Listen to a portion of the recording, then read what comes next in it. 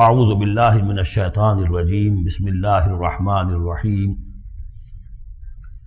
والمرسلات عرفا فالعاصفات عصفا والناشرات نشرا فالفارقات فرقا فالملقیات ذکرا، عذرا او نذرا، انما توعدون لواقع. والمرسلات عرفا. پہلی تین کے بارے میں تو یوں سمجھئے کہ سمجھا جاتا ہے کہ یقیناً یہ ہواؤں کا معاملہ ہے۔ وہ ہوائیں کہ جو چلائی جاتی ہیں بڑی آہستگی کے ساتھ، عمدہ طریقے سے جب سب شروع میں چلتی ہے تو آہستگی کے ساتھ۔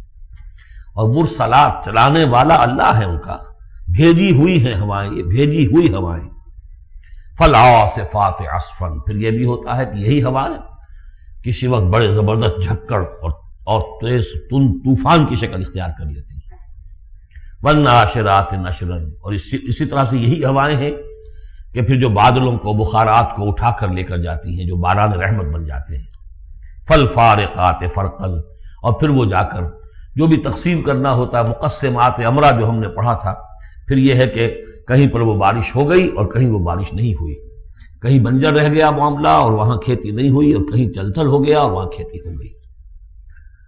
فل ملکیات ذکر البتہ اس کے بارے میں یہ اختلاف ہے کہ خیال تو یہ کہ یہ بھی مراد وہی ہوائیں ہیں کہ ان کے ذریعے سے وہی بھی جو آتی ہے اور وہ جو لوگوں تک پہنچتی ہے آواز نبی کی، وہ بھی ہوا کے ذریعے ہی سے پہنچتی ہے۔ میڈیم یہی ہے۔ لیکن ایک رائے یہ کہ اس سے مراد فرشتے ہیں کہ جو لے کر آتے ہیں ذکر، وہی لے کر آتے ہیں عذرن اور نذرن اور یہ جو ذکر لاتے ہیں فرشتے، یا تو یہ کہ الزام اتارنے کے لیے۔ جو ہم پڑھ چکے ہیں سورہ نثار میں کہ ہم نے رسولوں کو کیوں بھیجا؟ اللہ یقون اللہ حجت بعد الرسول لوگوں کے پاس کوئی الزام نہ رہ جائے اللہ تعالیٰ کے ہاں پیش کرنے کے لیے، کوئی عذر باقی نہ رہ جائے کہ اللہ ہمیں خبردار تو کیا نہیں گے۔ ہمارے پاس کوئی نبی تو آیا ہی نہیں۔ تو عذرن اللہ تعالیٰ کی طرف سے گویا کہ اتمام حجت ہے اور نظرن خبردار کرنے کے لیے تاکہ وہ جو بھی جاگنا چاہے جاگ لے۔ ان ساری قسموں پر جو اب مقسم علیہ ہے، جس چیز پر قسم کھائی گئی ان نما تو ادون الواقع جس چیز کا تم سے وعدہ کیا جا رہا ہے، وہ واقع ہو کر رہے گی۔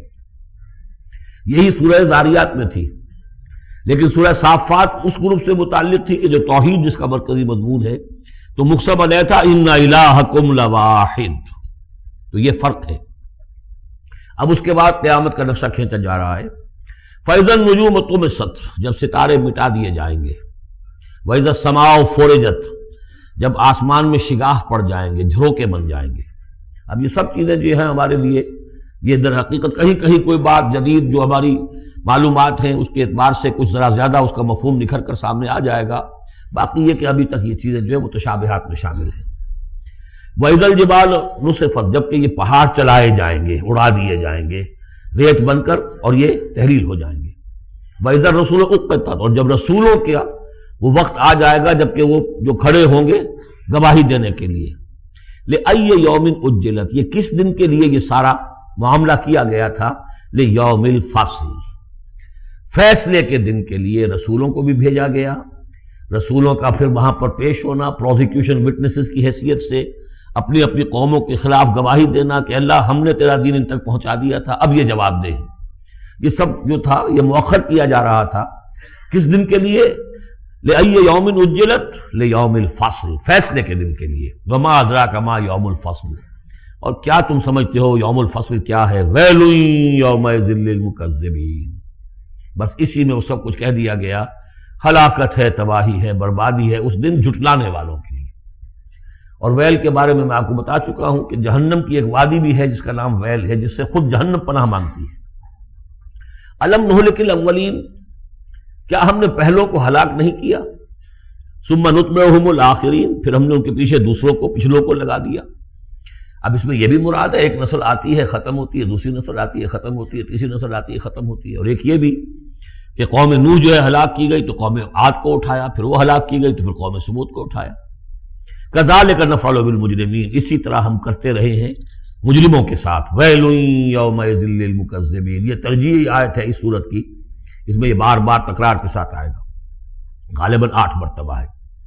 علم نخلق مائن مہین۔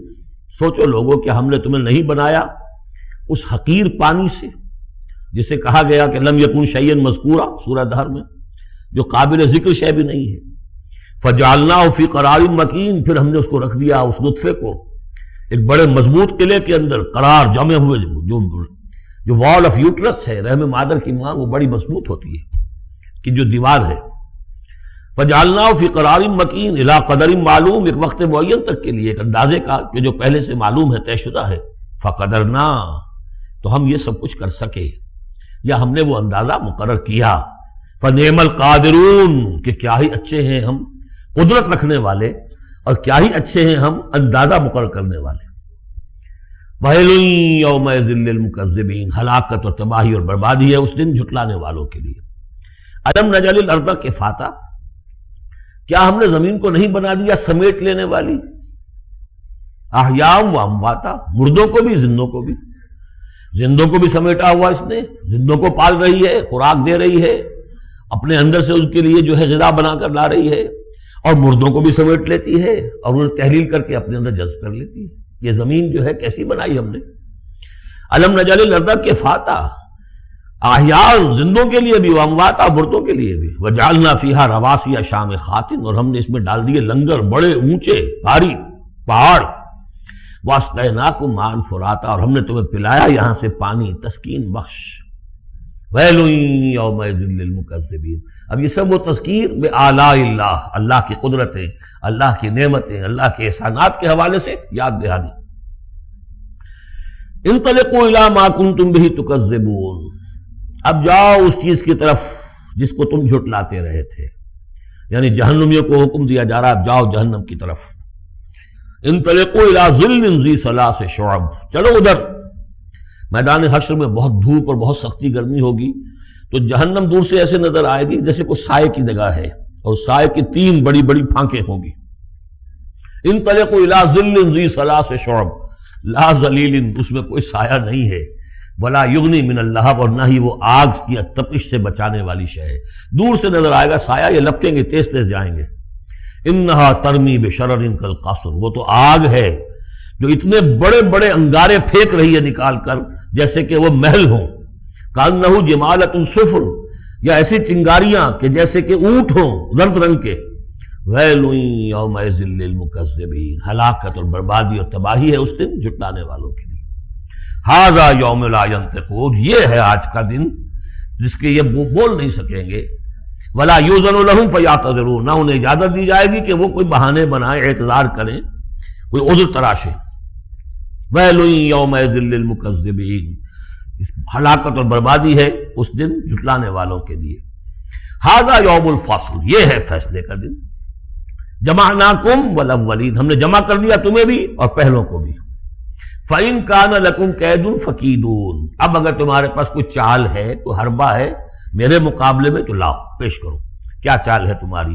ویل یوم المکذبین اب دوسرے رکو کی دس آیتوں میں، پھر اب جو ہے وہ اس کا جو ریورس سائڈ دکھایا جا رہا ہے، اہل ایمان کے لیے پہلے اور پھر دوبارہ آئے گا کفار کی طرف۔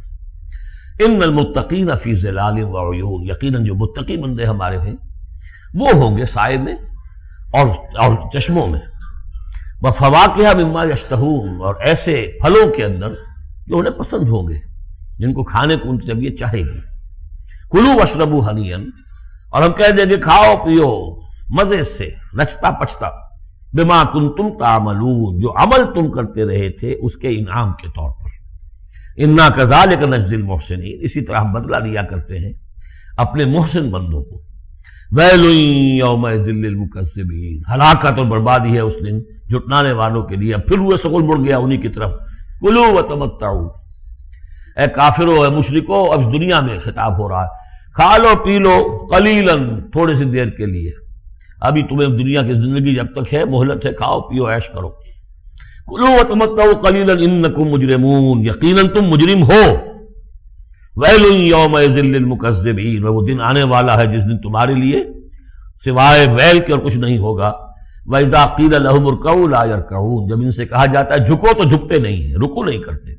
وَيْلٌ يَوْمَ ذِلِّ الْمُكَذِّبِينَ فب حدیث بادہ یومنون تو اب اس قرآن کے بعد اور کس چیز پر یہ ایمان لائیں گے اگر اب بھی آنکھیں نہیں کھلی تو کب کھلیں گی؟